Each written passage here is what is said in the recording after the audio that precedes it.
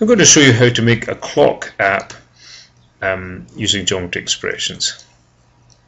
First here's a circle for the clock face. Um, and let's make this the second hand.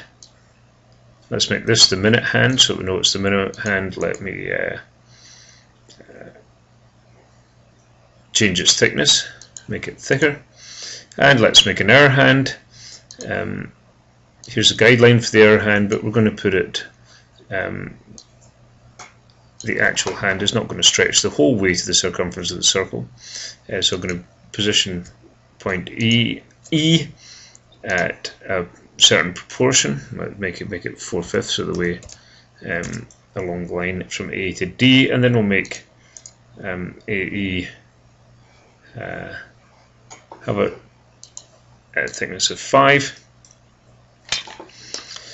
so now I would like point B to rotate around the clock, but I'd like it to go clockwise, whereas mathematical angles go counterclockwise, so I'd like that to be at location pi by 2 um, minus s.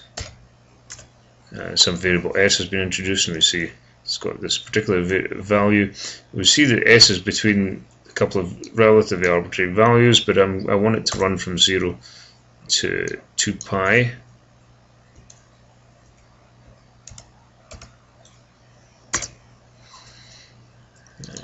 Likewise, I'd like point C to be at pi by 2 minus m for minutes.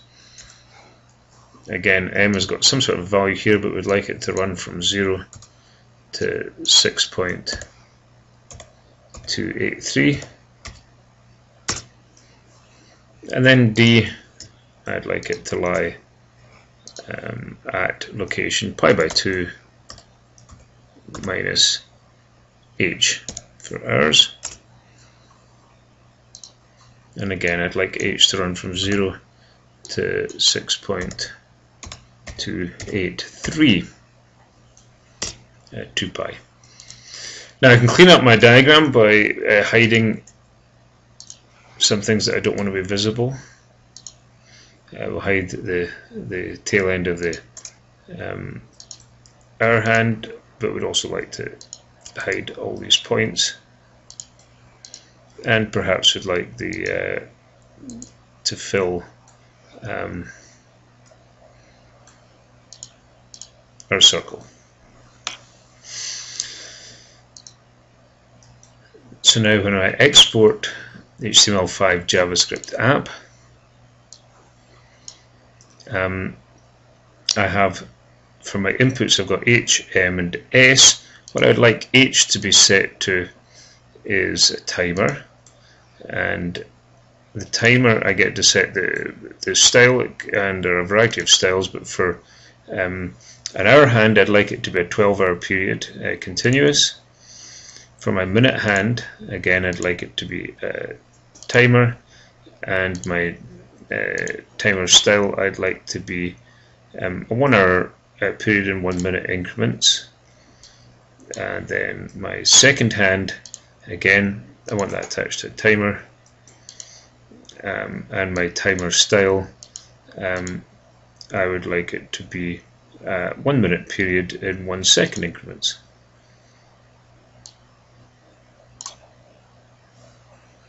So now when I look at my app,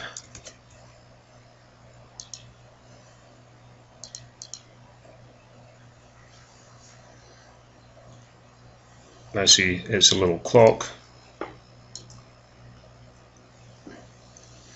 Uh, the second hand is is moving around um, with uh, an increment uh, every second. Uh, the time displayed is the correct time that appears um, on the computer and once the second hand uh, reaches the end of its uh, um, its traversal, we'll see that the minute hand um, also will move forward. I'll just wait until then and then stop. There we go.